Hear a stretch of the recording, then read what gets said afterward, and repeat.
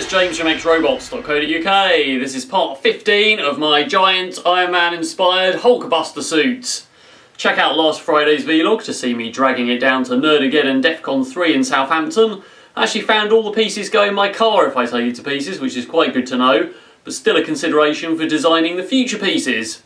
So today's episode is going to be not that exciting, but it is quite crucial. So we're going to have a look around the back. So as you can see from the sideways view here, um, the front is probably what you've seen in the previous episodes, but you can see that actually um, the back looks like there's a massive chunk missing. So the aim of this was that the joints are all locked. I can step into it, which is why there's a massive gap at the back, and then unlock the joints and have basically have a walk around, controlling the arms and so on, then lock all the joints back up and climb out. And the original plan was that they were going to be opening panels that opened up at the back, which of course I haven't built yet. All I've built is the actual structure of it, which is this silver plywood frame. So um, obviously the legs are going to be a lot wider, which will fill in that part.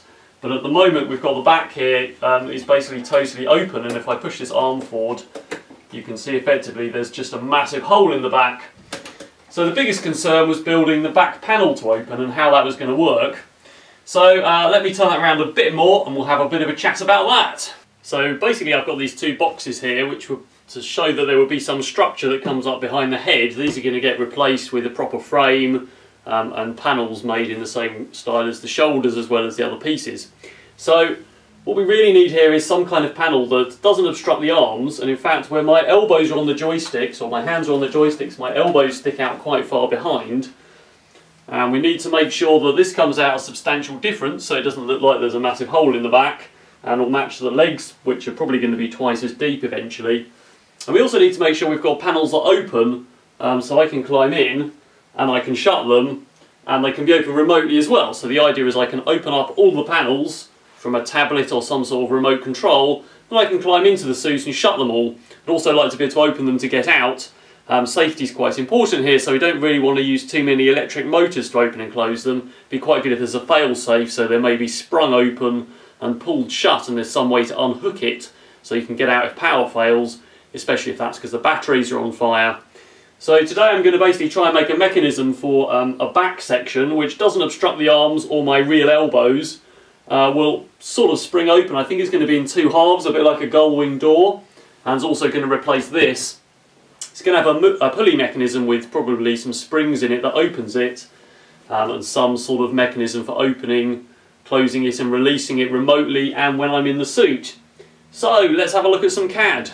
So here's the first part for the back opening mechanism. We can see this is kind of a pulley with a hole in and it's got some recesses there for two bearings to fit so it turns smoothly. There's also this channel cut through the middle which is for basically a piece of wood to fit in and that's going to hold the frame for the back which is probably um, going to be a combination of 3D printed formers and foam for the panels.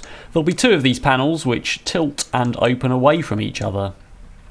Next up we have these two plates which um, basically have pivot points. They'll be this way around with the pulleys on the front of them. And then they have another pair of pivot points with recesses for bearings so that the two pulleys can tip away from each other or in fact towards each other which means that the um, two sticks that I just described will act rather like gull wing doors so they will um, stick out at an angle as the pulleys turn.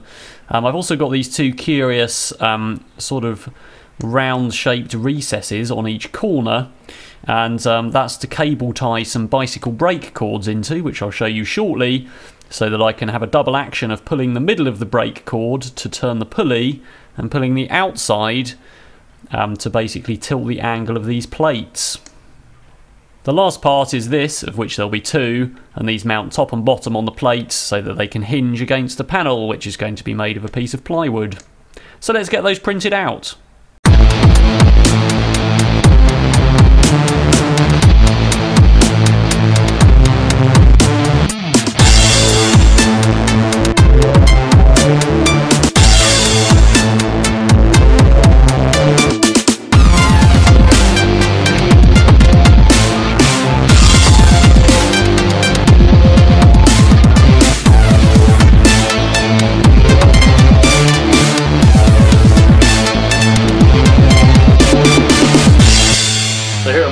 I've mounted already the bearings into these, so I've pushed the bearing in there, which it spins on quite nicely.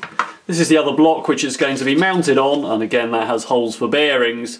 So in fact this side I've already mounted up, I've put the wood into the groove, which turns, and I've already mounted the bearings in the ends there. So I've got my two pieces which are going to be mounted on this piece of wood, which is going to go at the back of Hulkbuster, so that this piece can pivot so this means that uh, this thing can turn and then this can hinge outwards um, and that means that it will miss the back of the arms as it comes up instead of being flat and it will give quite a good sort of um, ladybird wing effect if you like, a bit like gull wing doors. So I'm going to put the other bearings in and get this together. I'm also going to spray these pieces of wood silver and also need to cut a hole in this one to allow the bicycle brake cord to pull along that channel um, and pull through a hole in the edge. So let's get that sorted and then hopefully we can mount it on the rest of the suit. So here's our mostly assembled mechanism. So we've got these pieces that tilt and we've also got these pieces which tilt inwards. And this will be mounted on here, which means that these panels will be able to tilt inwards and then upwards. And that means these sticks will just clear the back of the arms. Obviously I haven't built the back of the arms where the tricep shape will go. Um, but it does give it just that little bit more clearance. It's only a subtle angle but that works quite well. So let's talk about how that's going to be sprung and how it's going to be activated. So basically what I've done here is added some bungee cord. So this black cord here is flexible, which holds the two so they pull together. And I've also got one wrapped around the pulleys, which pulls them upwards. So um, these tend to float how it, how it will um, sit there when the back panels are open. And then we're going to have some, some cables basically pulling around the pulleys to hold this down. So what I'm going to use is these bicycle brake cords. So these are actually for the front um, front brakes of a bicycle. And obviously this is a cable in a tube. So when you pull one end, obviously it pulls the other end. But what we need is a double action. So we need to be able to turn this pulley and we need to be able to um, control these, possibly independently. So the plan is going to be to attach this to the anchor point here and have this pull the pulley round, the inside, and then the outside is anchored to this so when I pull the outside of the cable it can control the pitch of the two sticks. Um, so unfortunately we haven't got enough travel in here to actually pull the pulley. So I've got another brake cord which is the type of cable without the outer. So we're going to basically cut this one out and put in a longer one. So let me get that sorted and we'll see how well that works.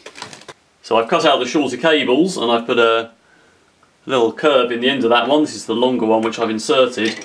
Um, so this steel cable that's wrapped around itself basically. So um, to stop that fraying you can get a little cap that goes on which you can get from a bicycle accessory shop. But I'm just going to solder the end there with a tiny bit of solder just to stop the ends coming apart.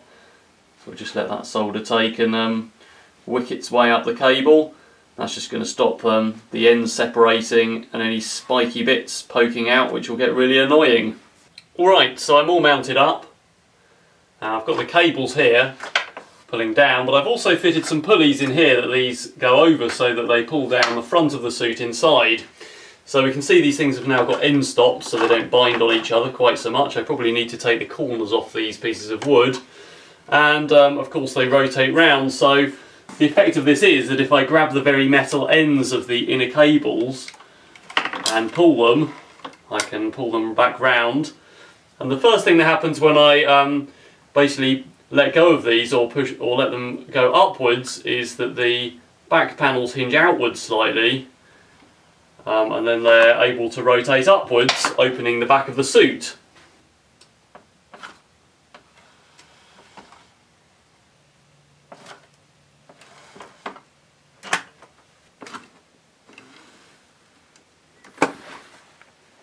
So the next part of the mechanism is going to be a some sort of solenoid release that lets go of the cables.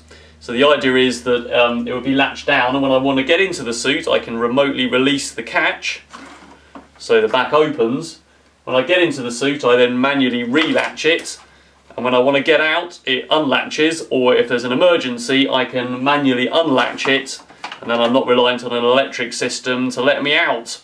But I'm not going to do that this time. I'm going to make another video in the future which deals with all of these other cable ends. So I've still got a pair of cables to release the ankles and a pair of cables that deal with the knee latches check out some of the um, parts around 3 to 5 to see that mechanism. Um, some of those are going to be manually activated latches and I may have an electronic option in there as well. So that's actually all I've got for this video. Sorry this mechanism isn't very interesting. I know some of the other episodes have been more visually pleasing, but it is really necessary to the whole impression of the suit for getting in and out. However, I have another bonus video coming this Friday on Hulkbuster dealing with the Unibeam, so make sure you check back on my Friday video this week.